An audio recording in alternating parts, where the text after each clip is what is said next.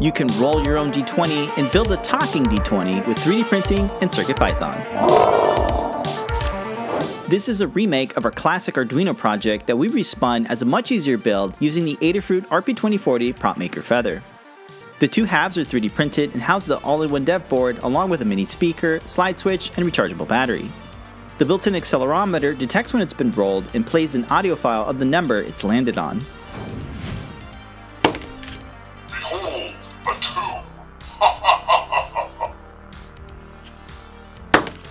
You a. The RP2040 Prop Maker Feather is secured to one half of the D20 and the two snap fit together with neodymium magnets. Behold, a four. Good day, sir. Philip Burgess, aka Paint Your Dragon, ported his original Arduino code to CircuitPython. The face vectors have been remapped to fit the new orientation and features freefall detection using the LIS3DH accelerometer. To learn how to build your own, check out the guide at learn.adafruit.com.